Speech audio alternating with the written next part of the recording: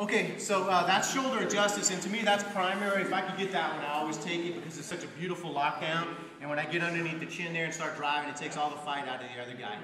Uh, let's do a little bit that we can use. If I can't get my arm in, and if the bottom guy is good, he's going to attach his head to the mat in a way that I can't get my hand underneath it.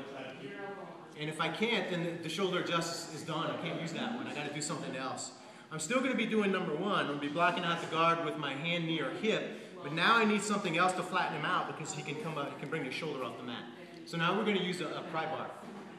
Uh, pry bar works when you can't get in real deep. So it's an alternative method of uh, flattening the bottom guy out. So um, I'm doing number one. My knees on this side, my elbows on this side. I'm trying to get the shoulder justice here, but I can't. I can't seem to get it uh, because he's got good jujitsu. So I'm going to get a little bit of cloth on the near side here. And I can get my hand on the near side. He can't stop that. Let's turn this way a little bit. I can't get my hand under, but I can get the cloth here, like this. His shoulder's off the mat, which is no good for me, and I want to flatten it back out, so I'm going to use a pry bar. And it's just like, it is sort of like a pry bar. Like I stick a pry bar underneath his head and turn it over. That's what I'm going to do. So I'm going to grab the cloth as deep as I can, which in this case is not going to be super deep, and then I'm going to point my elbow in the direction I want his head to go. Like that like that, to pry bar. And you can see his shoulder flattens out, his head turns in the other direction.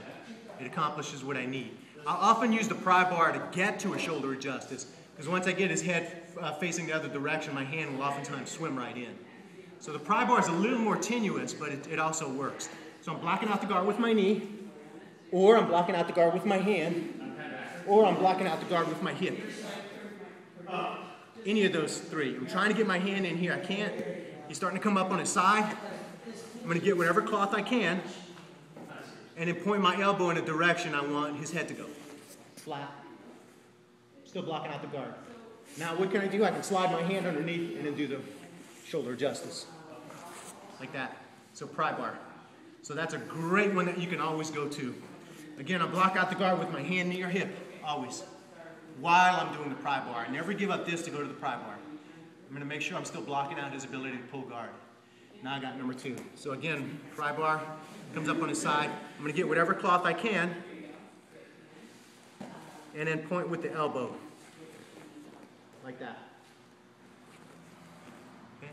Um, no gi, uh, you may not be able to grab cloth, but it still works. And what I end up doing is I just take my fingers like this and wrap them over the shoulder like this, only on this side. And then just with my fingers on the shoulder, I can still turn my elbow. Like that. And you can see where my fingers are on his shoulder right here. Works fine, no gi. Works just fine. So even though you don't have cloth to grab, it still works great, no gi. And it's one of the only things that'll turn a guy over really firmly, no gi, when you don't have stuff to grab. Just fingers over the shoulder right here, like that. And then turn your elbow out.